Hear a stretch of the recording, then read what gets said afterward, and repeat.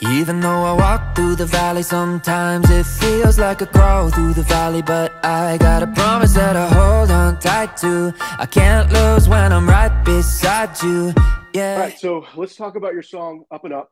Okay. Yeah. Um, it, it is doing uh, well on the charts, and it is such a good, inspiring song. Um, and it is a I would call it what I call a, a, summer jam. I think it's got that that perfect sound to it. So excellent job on that.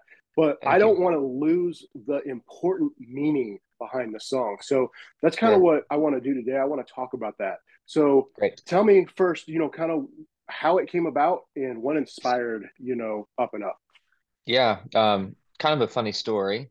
Um, you know, it, it, it's actually pretty rare that um, like from the time a song is conceived to the time it hits radio is like a short amount of time. For me, it's normally there's quite a, a bit of time in between those two things. And um, but I wrote this song just a few months ago, um, earlier this year.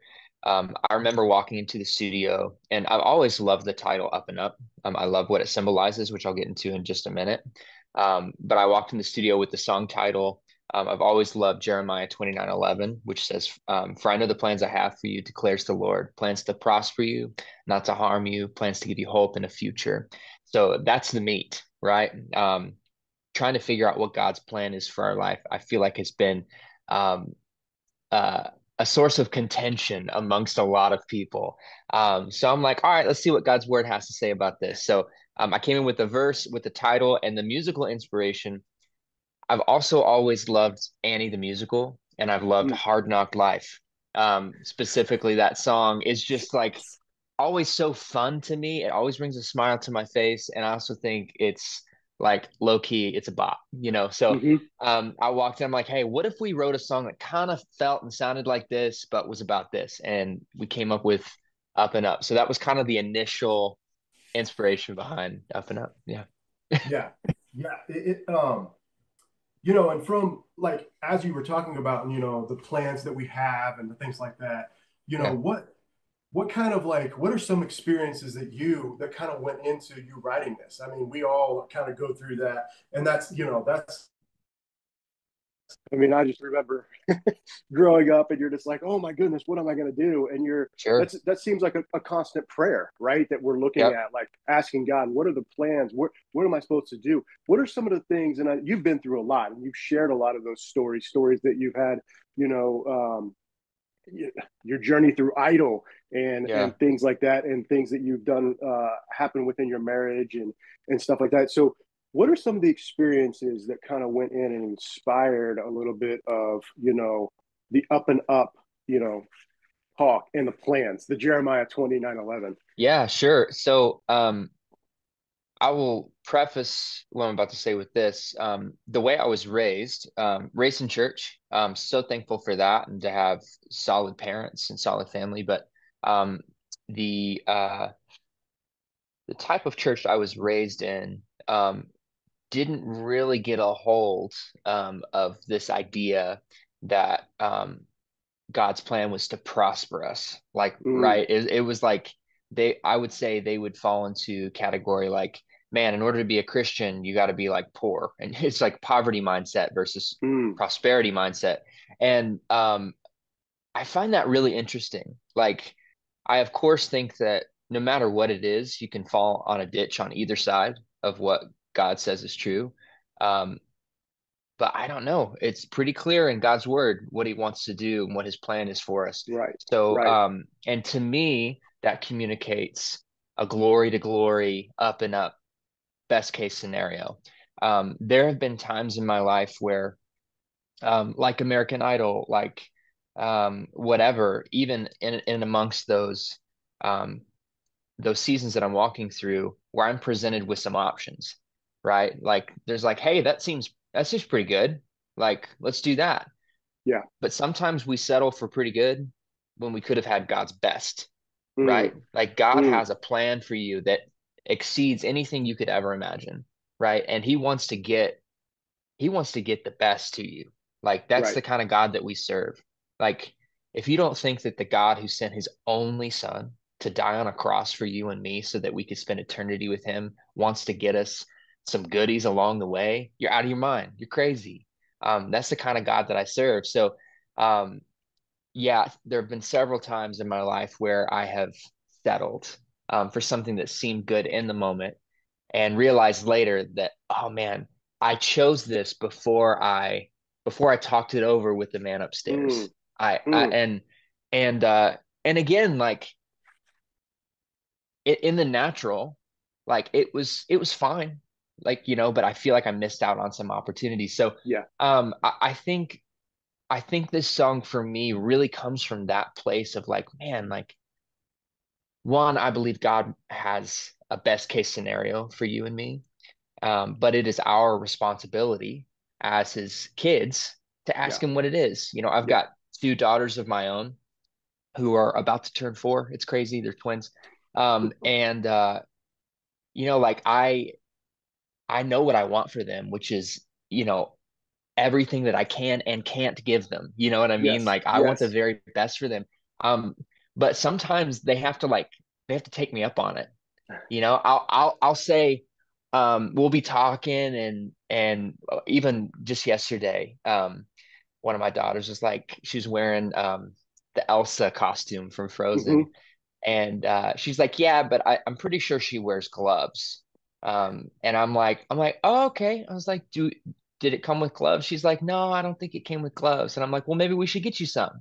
And I'm like, remind me when I see you next, you know, and we'll order you some gloves. So, so it's there, it's available, yes, right? Yes. Um, yes. So it's the same with us and God. He He gave us so many promises in the Scripture. It's now our responsibility to be mm. like, hey, God, like I want to be a part of that.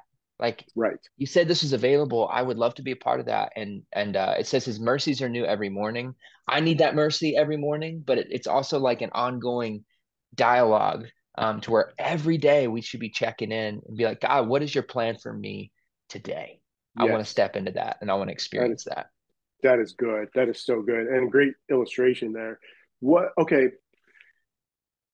let me jump. This this is kind of yeah. this goes along with this, and I think you, there's so much hope in this song and encouragement because we're trusting in God to give us, you know, those plans, and He knows those plans. We may not know them right away, right? But it's sure. that trust factor which is so hard um, yeah. in anyone's life, and not just Christians, like anyone's life, to be able to put that trust in there. So it seems like no matter where we turn today, especially if you click on the news, I mean, geez, you turn on the yeah. Olympics, there's something there, right? There's controversy. Yeah. It seems like there's there's a lot of what we would call hopeless. So what would you what would your be your encouragement today if you could tell somebody, you know, um, that that just feels as though there's no hope, you know, they're struggling with that, which I think a lot of people today do. I mean, we have a the, the mental health crisis, the depression crisis. It, it's a huge thing. What would be your encouragement to those people today? Yeah, um, to be honest, it's kind of a harsh truth. Um, so buckle up, but stop relying on people, human beings, mm. um, to fulfill something that only God can fulfill. Wow. Um, yeah. whether it be the Olympics or a presidential candidate or whatever. Let's not get into politics, please. Yeah. yes, please. but whoever it is, um, they're people and they're going to let you down. They're human. It's what we do best, right? That's why we needed mm-hmm. a savior. So, mm-hmm. um, again, instead of tuning into the noise, let's tune into what God has to say. You know, let's go to his word. Let's have that ongoing relationship. Let's check in every day. Um, I'm not saying it's always easy. Um, you know, it's funny. I, I realize after writing songs for 12 years that I find myself in this position as, and I hear it from so many other people. It's like, they're in the waiting season. Mm. They're in the season where they haven't seen the miracle happen yet, and they're still having to choose to believe. Um, you know, my song "Build a Boat" is a very similar thing. It's like, all right, cool. I'm here in in the desert, wandering, and God promised rain, so I'm going right. to build this boat out of faith. Um, it's it's the same thing, even with trusting God with your future. Um, again, like just go to the promises. Mm. Um, they're they're scattered all throughout God's word and it is amazing once you start to get a hold of them. I even like whenever I come across a promise, I insert my name. I insert my family, my family's by name. And I'm like, "All right, God promised this to us. So let's stand on this and make it a part of our everyday routine." So um, yeah, uh, it's like a, it's like if you had a radio dial, right? Like there's a lot of noise out there, um, mm-hmm. but you got to find the right frequency, you know, and, and stick on that. It's good. All right, let's close with this. What can we expect? What's coming up for Colton Dixon? What can you know? What's new? And then and we got what a few more months in this year. What can we what can we expect from Colton? Man, I I am so excited about what's coming. Um, so excited about what's coming. I don't know if I'm technically allowed to even talk about it yet, but we're gonna do it. This I haven't talked about it yet. Um, but I'm pretty sure we've we've been given the green light that it's coming out. So um my favorite song I've ever written is going to be released some point this year. Um and uh man, I it was it was just a gift. I was eating lunch before a, a session out in California um, had a, a, coffee with um, a friend of mine, Alexander Pappas, who used to be in mm-hmm. uh, Hillsong Young and Free, amazing friend of mine. Um, and we were just talking about the church and and people and and how um, I mean people are human. Like we just talked about this, right? Um, I'm gonna let you down at some point. I'm no different than anyone else. Um, and so the song is called "In Spite of Me," and it's kind of my response to church hurt Mm. Um, it's a very uh, trendy topic nowadays, mm-hmm. along yes. with deconstruction and, and you yes. name it. And it's like, man, I get it. I've fallen short. We all have. I'm no exception to Romans 3:23. You know what I'm saying? But yep. um, but I hope in spite of everything that's ever been done to you by a human being, mm. I hope you still find Jesus in spite of me, right? Because that's the answer. Um, I'm so excited for people to hear this um, I believe that it's going to bring people who maybe left the church, maybe make help them rethink some things. Yeah. Um, I I just think it's going to be a bridge, and I'm really really excited for it. Um, apart from music, um, we've got a tour coming up with Austin French and Jeremy Rosado, nice. two friends nice. of mine, and um, can't wait for that. That starts here in a month and a half or so. Um, so we're gearing up for that, and and um, it's gonna be so much fun, man. Like God's been really good. He's really blessed um, this music thing um, that he's even he put this desire in my heart when I was like 13 years old. So it's really cool mm-hmm. to still get to do this and uh, really am honored. So um, if you guys want to come have a good night with us, check the tour dates on my yes. website, um, coltondixon.com. We would love to have you. That is awesome. Thank you so much, Colton. It's always an honor. Um, go and check out, make sure you listen, make sure you download, make sure you get uh, buy up and up uh, request yeah. it if it's not being played you know at your local radio station request it and That's honestly right. not just christian radio station all radio stations because like i said it's a jam. So oh, request thanks, up and man. up. Thank you. Again colton thank you so much. It's always a pleasure. Thank you so much man. Appreciate it. Nice talking if i get